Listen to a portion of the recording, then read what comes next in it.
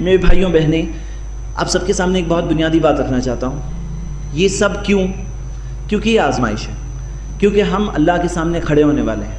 اور یہ مال جو ہے، یہ ایک مشکل امتحان ہے۔ اس کی چیکنگ ہوگی نا، تو بہت حالت خراب ہونے والی قیامت کے دن۔ بہتر یہ ہے کہ دنیا میں ہم مالدار بن جائیں۔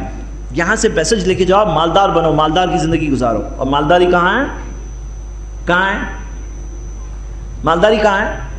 دل میں۔ غریبوں کی زندگی مت گزارو مالدار ہو کر زندگی گزارو۔ اور مالداری کہاں ہے؟ دل میں۔ تو آخر میں میں ایک حدیث پڑھ کے ختم کروں گا۔ اللہ کے رسول محمد صلی اللہ علیہ وسلم نے فرمایا، قد افلح من اسلم۔ کامیاب ہو گیا وہ جو اسلام لے آیا۔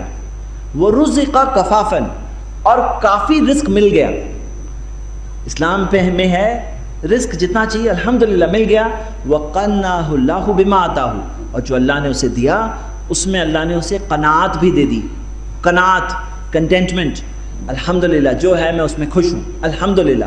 جب آدمی یہ چیز ہوتی ہے، اس کے لیے حرام سے بچنا آسان ہو جاتا ہے۔ اور بہنوں سے کہوں گا، اپنے شوہروں کے لیے امتحان آسان بناؤ، کیونکہ کئی بار گھر کا پریشر ہوتا ہے، یہ چاہیے یہ چاہیے۔ پھر آدمی جب باہر جاتا ہے، تو دیکھتا ہے کہ ابھی پیسہ ہے، گھر میں چاہیے اتنا۔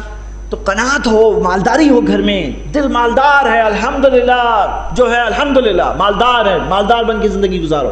ہاں؟ تو جب وہ ہوتا ہے نا، تو حرام چیزوں سے بچنا آسان ہو جاتا ہے۔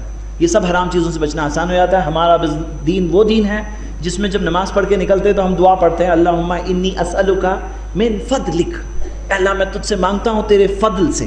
اور جمعہ کی نماز کے بعد میں جو آیت ہے کہ فن تشرو فی الارض وابتغوا من فضل اللہ زمین میں پھیل جاؤ، اللہ کے فضل کو حاصل کرو۔ ہمارا دین وہ دین ہے کہ وجعلنا النہار معاشا۔ اللہ نے دن کو بنایا ہے تجارت کے لیے۔